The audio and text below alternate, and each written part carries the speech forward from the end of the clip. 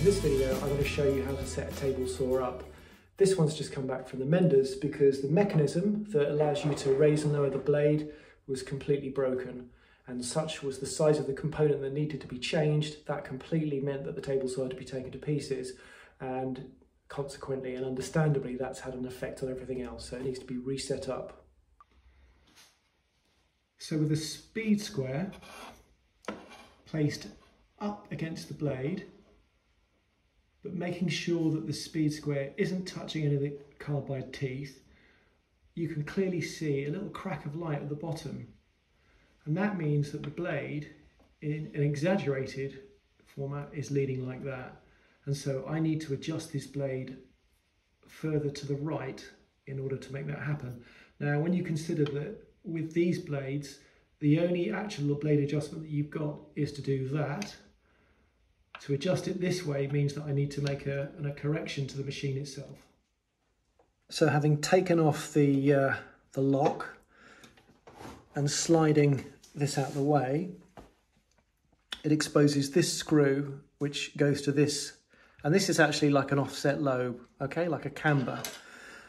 And if I place a screwdriver in there, this was mega stiff, but I've slackened it off now a little bit. If I roll it, you can see it reduces to the left, allowing this to go back a greater distance. So if I now lock that off, we can recheck the blade. Okay, so now this time you can clearly see that there is no light at the top of the bottom. So now that we know that the blade is 90 degrees to the table, so that's our first problem solved. And so the next job is to make sure that the fence is completely parallel to the slots, the mitre slots that we've got down here. So for this process, I'm going to use a T-square. Now this is an aftermarket one. I got this one from Axminster, I'm not sponsored by them. It's just where I tend to buy most of my stuff because I find that it's um, it's most reliable actually and probably the best quality for money that you can get. It certainly isn't the cheapest by any stretch of the imagination um, and I dare say it's not the best but um, all in all I think it works pretty well. Okay so on this mitre slot here which is two little holes up here that drive grub screws and on the back of them there's these little ball bearings and the idea being is, is that you can you can increase or reduce them in order to make them fit perfectly into the slot so that you get less slop. But for our purposes, I mean, what we're trying to do is, is that if you think about it, when this slides into the table saw slot, the ball bearings are actually pressing against this side, and on this side, it's just a sheet of flat steel.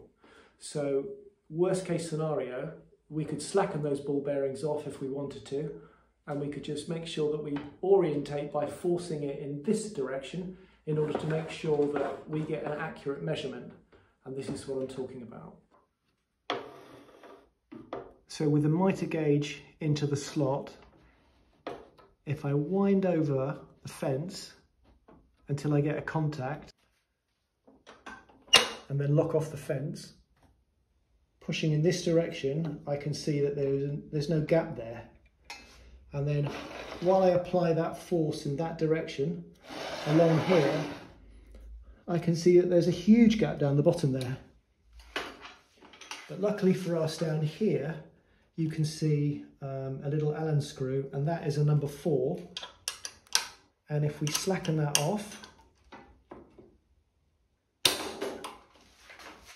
with a crack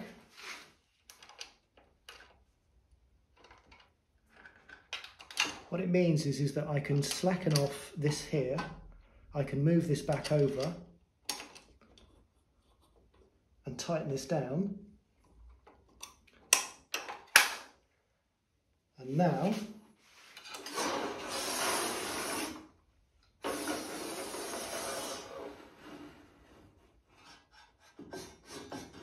I've got a little bit of contact there and a little bit of contact there. So I now know that is completely parallel and that is good and tight. Because we're using this mitre gauge as effectively an improvised dial gauge, you need to make sure when it comes to setting up the blade that using an engineer's square, back of this box section they're equal on both sides. If they're not, you have two choices. You either take a file and you make them so that they're completely square, completely equal, or you pick one, put a mark on it, and always make sure that you reference the, the particular point of the blade that you're going to measure against that one spot. So what I've done is I've taken the uh, I've taken the mitre gauge, I've marked tooth, which you can't see, but I've put a, a black mark on the side of this particular tooth here. And if I slide that tooth over, that's as close as I can get it without actually touching. There's no contact there. But if I take the same tooth over to this side,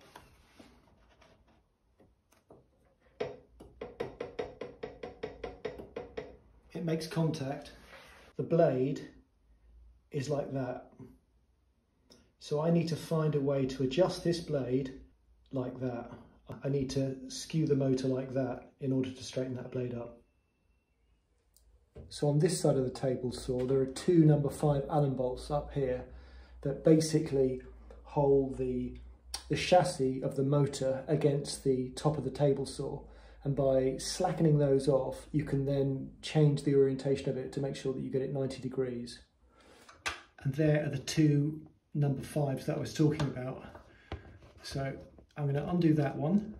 These are pretty tight, so obviously I've kind of gone over them to begin with. And this is me just really showing you where they are. And that's the second one, and I'll undo that one as well. Now you don't have to remove on, certainly on this model you don't have to, I'm not saying on all models you wouldn't have to.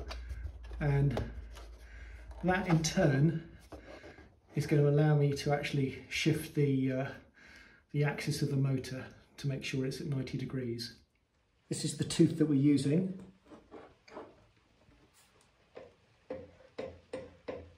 and there's no contact.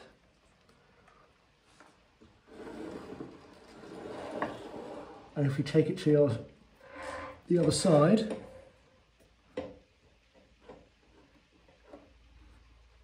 there is a huge gap there now. So I need to, to bring it in that direction. I'm going to give this a tap with a, with a rubber mallet and see what difference that makes. And that looks perfect. At the risk of moving it, I'm going to take this out and slide this on the other side. And I'm going to bring that tooth over to the other side. And that is exactly the same. So what I need to do now is do those screws up without changing what I've just done to this blade.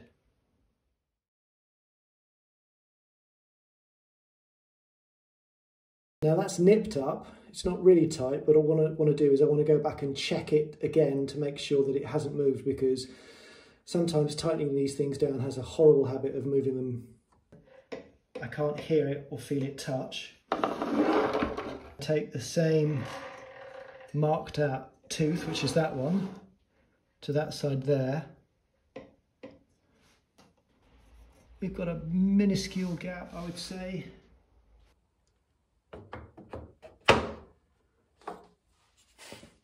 Let's check that. Okay, so there is our chosen tooth.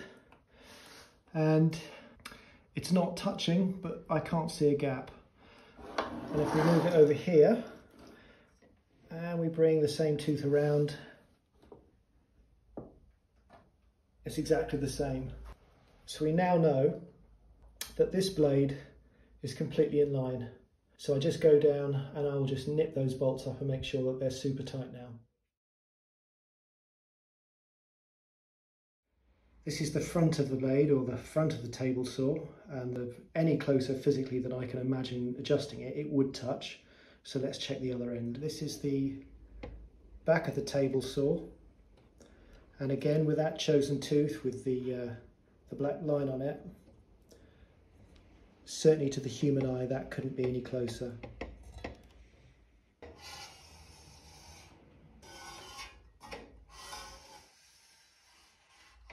And with that final adjustment, we're all set and the machine is nice and square and will cut safely and will help avoid kickback and just make it a much nicer, smoother and more accurate tool to use. I Hope you found this useful. Thanks for watching.